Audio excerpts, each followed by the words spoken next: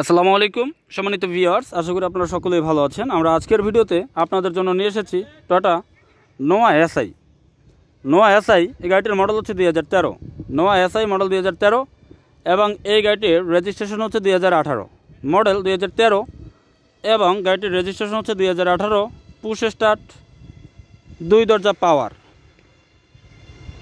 Push start এবং গাড়িটির two ডোর পাওয়ার গাড়িটির যিনি ইউজার তিনি গাড়িটি ফার্স্ট ইউজার এবং স্মার্ট কার্ড মালিক রয়েছে।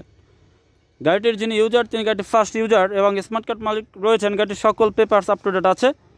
ট্যাক্স টোকেন দুই হাজার চব্বিশের মে এবং ফিটনেস আছে দুই হাজার চব্বিশের মে। ট্যাক্স টোকেন দুই হাজার চব্বিশের মে ফিটনেস আপডেট আছে দুই হাজার চব্বিশের মে।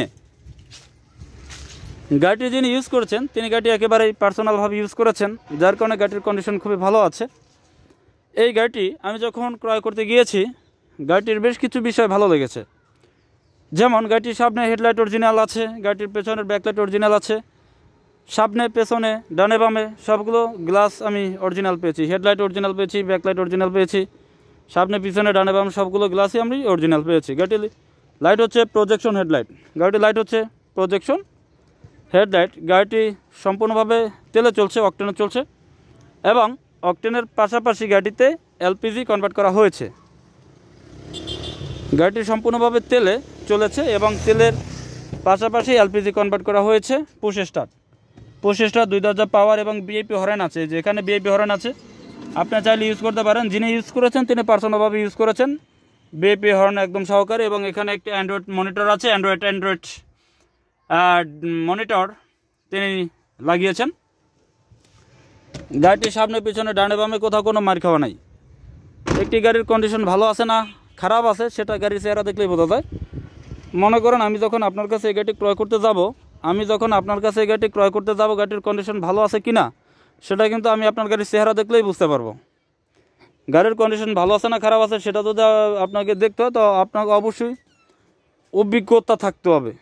অভিজ্ঞতা ছাড়া আপনি কিছুই বুঝবেন না।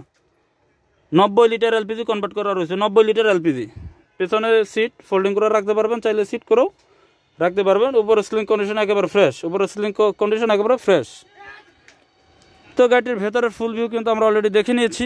গাড়িটির সামনে, পেছনে, ডানে, বামে কোথাও কোনো মার খাওয়া নাই।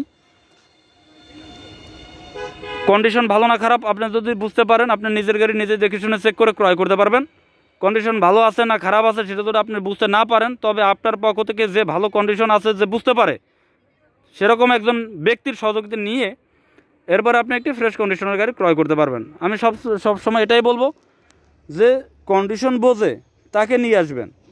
আর যে কন্ডিশন ভালো মন্দ বোঝে না, যে কন্ডিশন ভালো মন্দ বোঝে না, সে ভালো গাড়ি না খারাপ গাড়ি, সেটা সে কিন্তু বুঝতে পারবে না। এই যারা বোঝে তাদেরকে সঙ্গে নিয়ে আসবেন। আর সব সময় ভালো বিষয় হচ্ছে, আপনি কম্পিউটার চেক করবেন। কম্পিউটার দিয়ে চেক করলে সবচেয়ে বেশি ভালো হয়।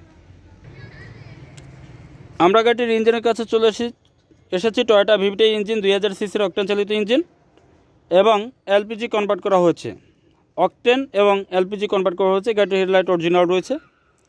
যে হেডলাইট এই কোডগুলো দেখবেন কোডগুলো আছে কিনা এই হলো সিল আছে কিনা যদি থাকে, তার মানে গ্লাস অরিজিনাল হেডলাইট অরিজিনাল এবং এই যেগুলো দেখে নেবেন ঠিকমতো দেখে নেবেন। সামনে পিছনে ডানে বামে সব কিছু দেখে নেবেন। ফ্রন্ট মার্সেল, সাইড মার্সেল, ঠিক আছে কিনা দেখে নেবেন। মনে করেন এই গাড়িটি আপনার। আমি যখন আপনার কাছে গাড়িটি ক্রয় করতে যাব, আমি সামনে পিছনে ডানে বামে কোথাও কোনো মার খাওয়া আছে কিনা, ইঞ্জিন ভালো আছে কিনা, গিয়ার ভালো আছে কিনা, সাসপেনশন ঠিক আছে কিনা, এসি ঠিক আছে কিনা সব কিছু আমি দেখে নেব। আমি যখন দেখব যে কন্ডিশন ভালো, আমি কিনবো। আমি যখন দেখব কন্ডিশন ভালো নাই আমি আপনার গাড়ি অবশ্যই ক্রয় করব না। যদি কন্ডিশন ভালো থাকে, আমি ক্রয় করব। কন্ডিশন ভালো নেই, আমি আপনার গাড়ি ক্রয় করব না। এবার আমরা চলে যাব গাড়ির দামের ব্যাপারে। বর্তমান বাজারে ভালো কন্ডিশনের গাড়ি কিনতে গেলে দাম বেশি। আবার যে গাড়িগুলো কম দামে পাওয়া যায়, সেই গাড়িগুলো কন্ডিশন ভালো একটা হয় না। সব কিছু মিলে হচ্ছে আলোচনা। গাড়িটির প্রাইস আমার শোরুমের আস্কিং মূল্য ছাব্বিশ লাখ পঞ্চাশ হাজার টাকা। প্রাইস ছাব্বিশ লাখ পঞ্চাশ হাজার টাকা। আলোচনার মাধ্যমে গাড়ির দাম কিছুটা কমিয়ে আমি আপনাকে এই গাড়ি দেওয়ার চেষ্টা করব।